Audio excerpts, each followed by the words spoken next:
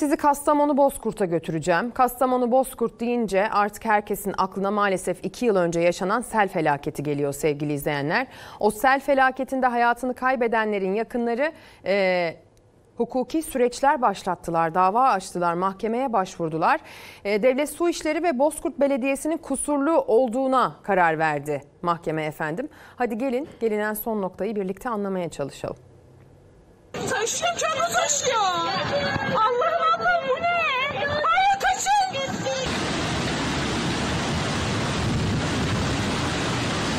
Arabanın içinde mahsur kalmış durumdayım. Sel aldı götürüyor. Neredeyse iki kat yükseklikteyiz. Tarih 11 Ağustos 2021'di. Kastamonu Bozkurt sel felaketini yaşadı. 65 kişinin hayatını kaybettiği felakette mahkeme DSİ'yi asli kusurlu, Bozkurt Belediyesi'ni ise kusurlu buldu. Araba geliyor araba. Araba geliyor la.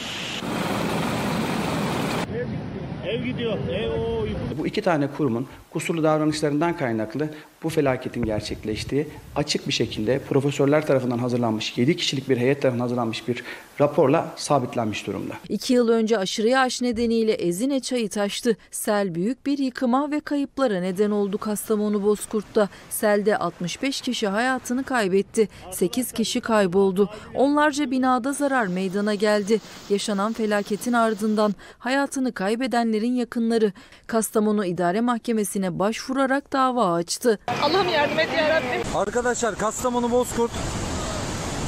İmam Hatip Lisesi'nin camında bir kadın kaldı. Helikopter istiyoruz ama hiçbir yer müsait değil. 7 kişilik bilirkişi raporunun ardından idare mahkemesi 2 yıl süren yargılanma sürecinin ardından mağdurları haklı buldu. DSİ 23. Bölge Müdürlüğü'nün asli kusurlu, Bozkurt Belediyesi'nin de kusurlu olduğuna karar verildi. İki kurum selde hayatını kaybedenlerin yakınlarına tazminat ödemeye mahkum edildi. Normal şartlar itibariyle makam araçları var.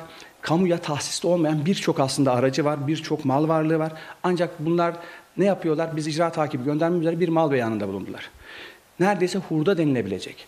Bir tane kişinin tazminatını bile karşılamaya yetmeyecek bir kamyonu bu mal varlığımız diye gösterip sadece bunun satışıyla bu tazminatı siz giderin diye ortaya koyarak bizim diğer araçlarına, makam araçlarına, diğer belediyenin kamuya tahsis olmayan mal varlıklarına haciz işlemlerimizi geciktirmeye çalışıyorlar. Mağdurların yakınlarının iddiasına göre Bozkurt Belediyesi de hurda bir aracı mal varlığı şeklinde göstererek süreci yaklaşık 4 yıla kadar uzattı. Sel mağdurları tazminatlarının ödenmesini talep ediyor.